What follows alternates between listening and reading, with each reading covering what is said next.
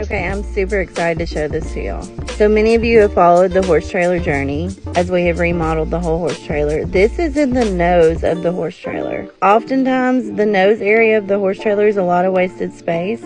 So Michael has made these sliding doors and like a little cabinet up here and I am just in love with it. They just slide shut and he just added the latch on here to make sure that they stay shut going down the road.